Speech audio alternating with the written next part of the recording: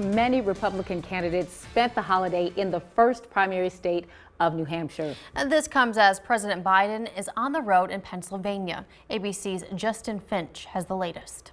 President Joe Biden at an official White House event in Philadelphia on Labor Day, sounding at times like he was at a reelection campaign rally. The 80 year old addressing concerns about his age without even being asked. The only thing that comes with age is a little bit of wisdom.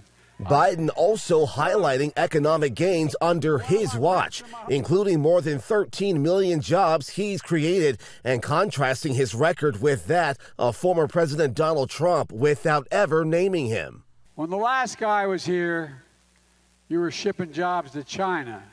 Despite his four criminal indictments, new Wall Street Journal polling finds 59% of Republican voters backing Trump in his third White House bid.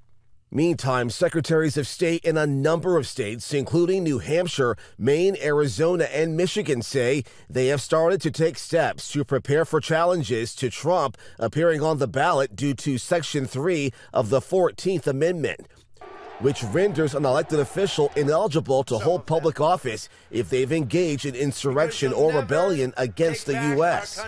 Other Republican candidates are meeting voters face to face in New Hampshire as Trump remains notably absent. I'm standing here because I believe different times call for different leadership. Hey guys, good to see you guys. 38 year old entrepreneur Vivek Ramaswamy seeing a boost after his first Republican debate appearance, where he held firm on his pledge to pardon Trump if he's elected and vote for him if he's the nominee. Meanwhile, the Washington Post reports the bipartisan political group No Labels is holding voter focus groups aimed at fielding a third party unity presidential ticket. A No Labels senior advisor saying the end game isn't necessarily a ticket, but a voice for the common sense majority. Justin Finch, ABC News, Washington.